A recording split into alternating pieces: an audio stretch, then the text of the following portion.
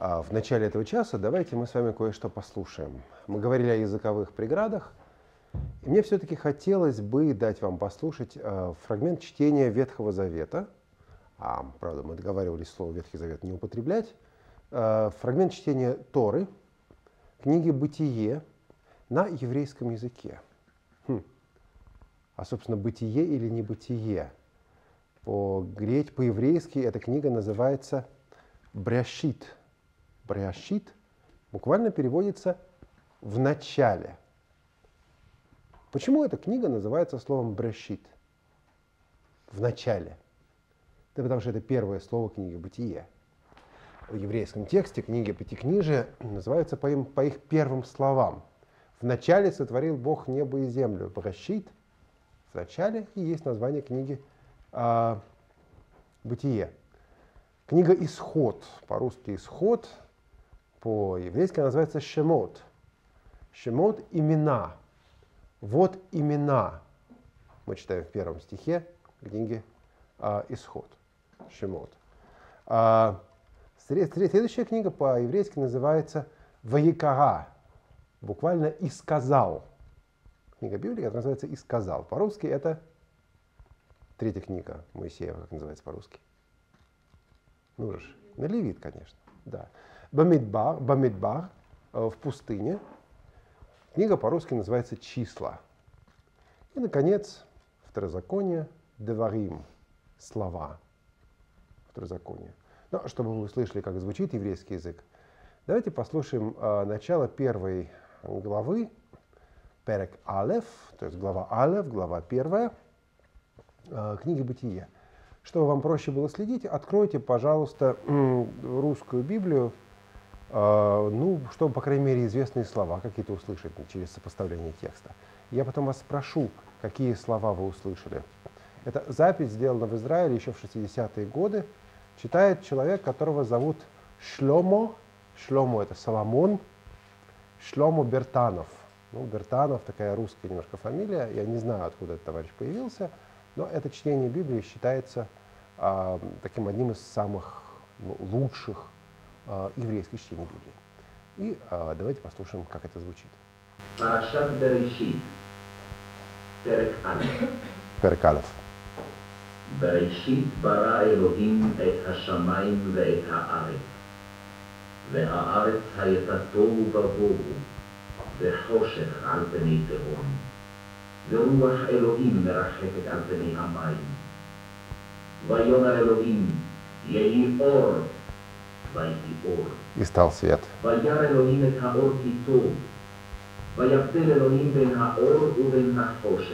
Отделил свет от тьмы.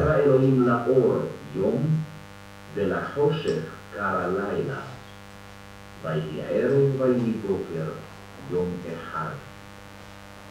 ויאמר אלוהים, יהי רקיע בתוך המים, ויהי מבדיל בין מים למים.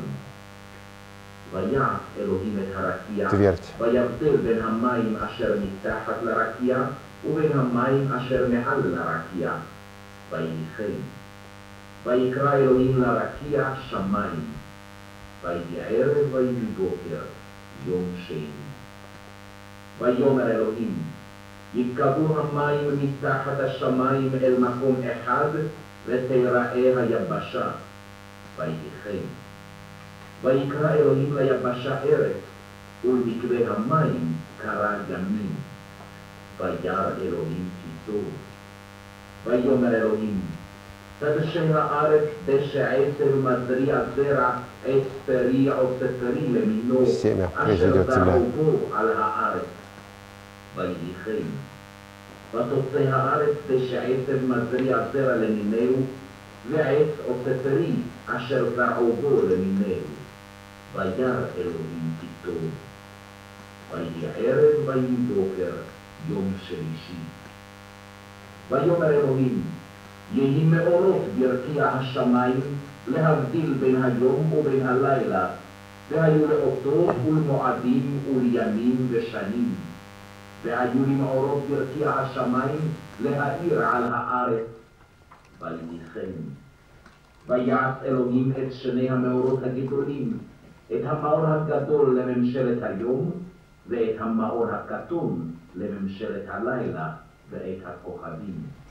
ויתן אותם אלוהים ברקיע השמיים להאיר על הארץ, ולמשול ביום ובלילה, ולהבדיל בין האור ובין החושך.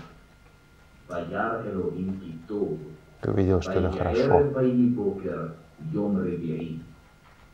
ויאמר אלוהים, ישרצו המים שרץ נפש חיה, ועוף יעופף על הארץ על פני רקיע השמיים. ויברא אלוהים את התנינים הגדולים, ואת כל נפש החיה הרומסת אשר שרצו המים למיניהם, ואת כל עוף כנף למיניהו. וירא אלוהים כי טוב. ויברך אותם אלוהים לאמור, פרו ורבו ומילאו את המים בימים, והעוף ירד בארץ. ויהי ערב ויהי בוקר, יום חמישי. ויאמר אלוהים, תוצא הארץ נפש חיה למינה, בהמה ורמס וחי תוערת 24 למינה. стих идет уже. ויהיכם. ויעש אלוהים את חיית הארץ למינה, ואת הבהמה למינה, ואת כל רמס האדמה למיניהו. וירא אלוהים כי טוב. ויאמר אלוהים, Внимание.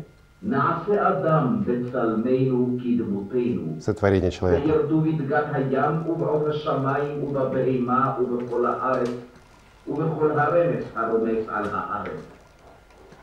ויברא אלוהים את האדם בצלמו, בצלם אלוהים ברא אותו, זכר ונקבה ברא אותם. ויברך אותם אלוהים ויאמר להם אלוהים, פרו ורבו ומילאו את הארץ וכבשוה, ורדו בדגת הים ובעוף השמיים ובכל חיה הרומסת על הארץ. ויאמר אלוהים, הנה נתתי לכם את כל עצב זורע זרע אשר על פני כל הארץ, ואת כל העץ אשר בו פרי עץ זורע זרע, לכם יהיה לאוכלה. ולכל חיית הארץ ולכל עוף השמיים ולכל רומס על הארץ אשר בו נפש חיה, את כל ירק עצב לאוכלה. ויהיכם. וירא אלוהים את כל אשר עשה, והנה טוב מאוד. ויהי ערב ויהי בוקר, יום השישי. Все. Помните, он раньше видел, что все китов, что все хорошо, а в последний раз он видел, что китов меод. А по-русски написано хорошо весьма. Вот меод это слово меод это слово очень. В последний э, день творения, сотворив человека, он увидел все очень хорошо. Э, вот просто не зная даже этого языка, э, скажем так, в его звучании, на что-то вы обратили внимание? Были какие-то вещи, которые вас ну, поразили, скажем так? Ничего не поразило или все еще осмысливают? Дело в том, что смотря сравнивать что с чем, и какие Да. цели ставить при этом. Мгм. Да. Совершенно отлично, допустим, от русского вообще по мелодике совершенно. Мелодика строя совершенно другой, да? Очень короткий язык, короткие фразы, короткие слова, очень ритмичный язык, А, очень, ну это ну, немножко уже нужно знать этот язык, он очень образный. Я думаю, что слово Элохим вы услышали все. Да, да, да, да. Да, я говорил вам в прошлом курсе, что а, в этих местах эм, текст написан не Элохим, в этих местах текст написано Яхве, Яхаваха. Но поскольку они не имели права это читать вслух, это имя Божие, оно произносилось, ам, заменялось именем э, Элохим, и, собственно, так же сейчас до сих пор читается. Вот, но я не, не думаю, что вы а, нашли много, хоро- много знакомых слов. Но Адам вы услышали, да? Да, а здесь его нет. Но дело в том, что Адам это и есть человек. Это не только его имя, как человека зовут Адам, а человек в принципе, как в книжках эм, Льюиса, э, дети называются сынами и дочерьми Адама. То есть Адама как конкретной личности и Адама как человека вообще. Может быть, вы услышали такие дни, слова знакомые, как Йом, день, Лайла, э, ночь, А, Есть, кстати говоря, имя Лейла в арабское и татарское имя. Числительные там были. Да, числительные вы еврейские услышали. А, ну вот это особая на самом деле вещь, если вы когда-то заходите, захотите заниматься библейскими языками. Это безумно интересно, это очень полезно, это сложно, но, а, в общем, оно того стоит. Поэтому, ам, если такое желание будет, собственно, берите и занимайтесь. А те- Э, Нет, носителей иврита, я думаю, здесь найти реально. Носителя древнегреческого, конечно, нет. И А, я тоже сомневаюсь. С ивритом, я думаю, вполне. Синагога же здесь есть, наверное, нет? в Нет. Курске? Нет синагоги? Нет. О, И есть еврейский центр. И то руководитель центра не знает по ивриту ни слова.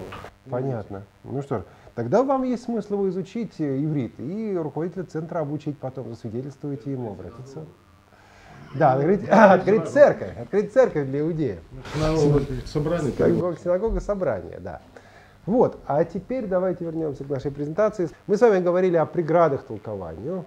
А, И это, конечно, все очень интересно, но теперь вопрос о том, как эти преграды преодолевать. И мы начнем со слайда, который называется «Пять ключей к толкованию». А, да, второй значит, шаг. Там идут типичные ошибки в толковании, это разбирать не, мы это разбирать с вами не будем.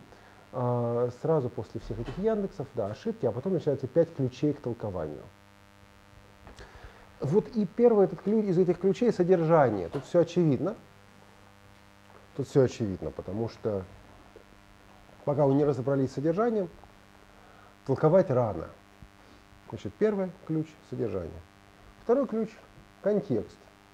Причем контекст бывает разный. А, так, сейчас что у нас такое?